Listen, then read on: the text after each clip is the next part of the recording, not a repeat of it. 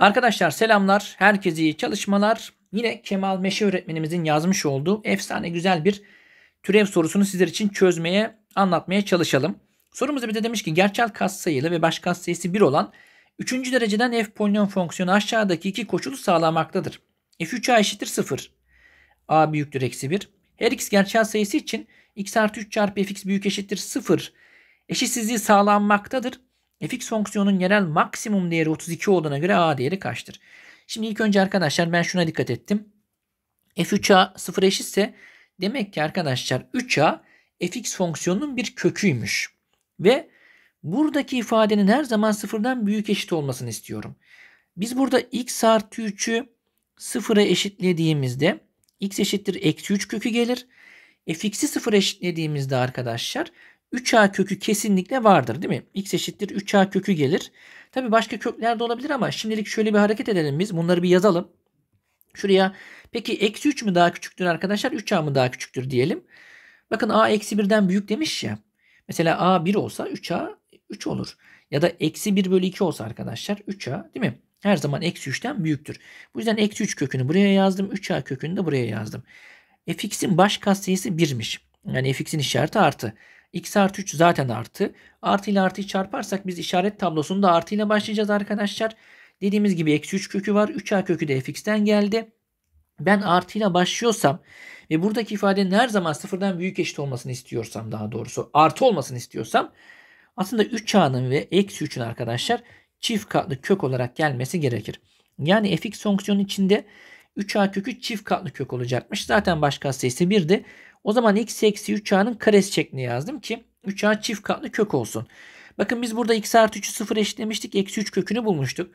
Eksi 3 kökünün çift katlı kök gelmesi gerekiyordu. Demek ki eksi 3 aynı zamanda fx'in de bir kökü olmak zorunda. Yani fx'in içerisinde arkadaşlar x artı 3 çarpanında olmak zorundaymış. Bakın kontrol edin fx'i. x eksi 3a'nın karesini 0 eşitlersem 3a çift katlı köktür. x artı 3 işte burada vardı. Bir tane de Zaten soruda yazmıştı arkadaşlar. x artı 3'ün karesi geldi. Buradan da eksi 3 çift katlı kök olarak yazılabilir arkadaşlar. Demek ki bizim yazdığımız fx doğruymuş.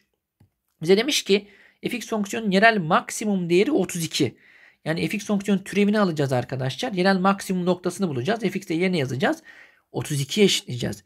f'in türevi x'i alırsak biz 2 çarpı x eksi 3a çarpı x artı 3 biraz maviyle yazayım. Artı arkadaşlar x artı 3'ün türevi 1'dir. E, bunu biz x eksi 3a'nın karesiyle çarpacakmışız. O zaman f'in türevi x eşittir. Bakın burada x eksi 3a'lar ortak. Şunu güzel yazamadık. x eksi 3a parantezini alırsak 2 ile x artı 3 çarparsam 2x artı 6 gelir. Buradan da bir tane x eksi 3a gelir. Bunu sıfır eşitleyeceğiz arkadaşlar. O zaman x eksi 3a çarpı 3x artı 6 eksi 3a eşittir 0 x eksi 3a 0 eşitlersem buradan x eşittir 3a gelir. Burayı 0 eşitlersek arkadaşlar 3x eşittir 3a eksi 6. Her tarafı 3'e bölersek x eşittir a eksi 2 gelir. F fonksiyon türevini aldık ve iki tane kök bulduk. 3a ve a eksi 2. Yine tablo yapacağız. Hangisi daha küçük acaba? Bakalım. a eksi 2 mi daha küçük? 3a mı daha küçük? Biz a'nın eksi 1'den büyük mü? A'nın eksi 1'den büyük olduğunu biliyorduk. Mesela bir tane değer verelim. a 0 olsa 3a 0 olur. E, a eksi 2'deki a yerine 0 yazarsak eksi 2 gelir. Demek ki arkadaşlar a eksi 2 kökü 3a'dan daha küçükmüş. Böyle yazdık biz bunu. Şuradan bulmuştuk kökleri. x eksi 3 yan işareti artı. 3x artı 6 eksi 3 yan işareti artı. O zaman artı ile başladım. Artı eksi artı şeklinde devam ettim. Bakın artı eksi.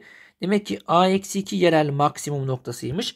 fx fonksiyonun denkleminde x yerine a eksi 2 yazıp arkadaşlar 32 eşitlememiz gerekiyormuş fx fonksiyonu denklemi bu. x yerine a eksi 2 yazarsam f a eksi 2 yani bu sonuç 32'ymiş arkadaşlar bu arada. Eşittir diyeceğiz. x yerine a eksi 2 yazacaktık değil mi? x eksi 3a'nın karesi demiş. Ben burada x yerine ya da yazayım ya hadi biraz uzatalım.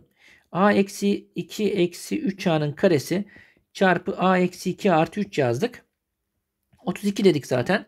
Eşittir buradan ne geldi? Eksi 2a eksi 2'nin karesi çarpı a artı 1 olarak geldi arkadaşlar. 32 eşittir dedim. Burada eksi 2 parantezine alırsam eksi 2 çarpı a artı 1'in karesi çarpı a artı 1 oldu. 32 eşittir dedik. Eksi 2'nin karesi 4 çarpı a artı 1'in karesi çarpı a artı 1 olarak yazdık. O zaman 8 eşittir. a artı 1'in 3. kuvveti a artı 1 eşittir 2 ise a eşittir 1 olarak geldi. Yani bizim sorumuzun doğru cevabı Bursa şıkkıdır. Umarım çözümümüz sizler için açıklayacağı faydalı olmuştur arkadaşlar. Kendinize iyi bakın. Görüşürüz.